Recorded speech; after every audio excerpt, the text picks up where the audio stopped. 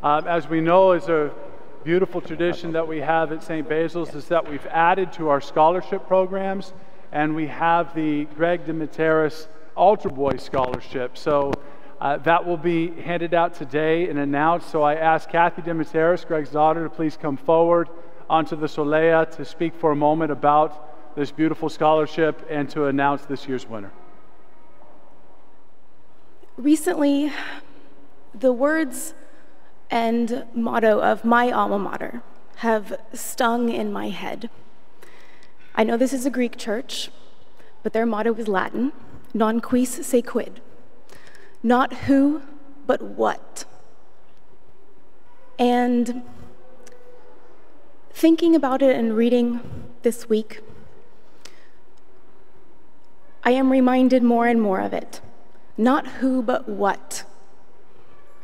Southwestern was founded nearly 200 years ago, before Texas was a state. And the only people who had an education at that time were people of what landowners, people with money, people who had a title, people who were someone. Southwestern was founded not to educate people who had money, people who had a title, but people who would do something in this world. Not who, but what. It is not who. It does not matter who my father is. It does not matter who my mother is. It matters what I do in this world. And so that is my challenge to the young men in the altar to those of you, as you start your new school year, not who, but what. What will you do with your education?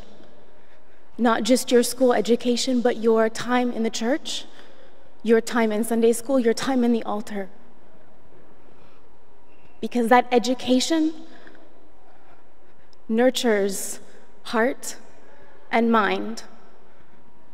And even St. Nectarios knew that the value of your religious education, if it was strong enough, it did not matter who your teachers were on the education side.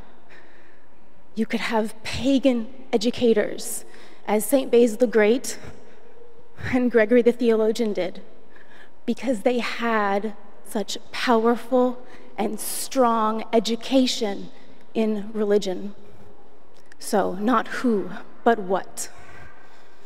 We thank Kathy. What a beautiful tradition that you founded here in your dad's honor. And as she's provided to me the awards, I'll share that first place this year for the Greg Dimataris Altar Boy Scholarship is Vasilios Fakaris. And our two honorable mention winners are both Ryan McIntyre and Athanasios Diaz.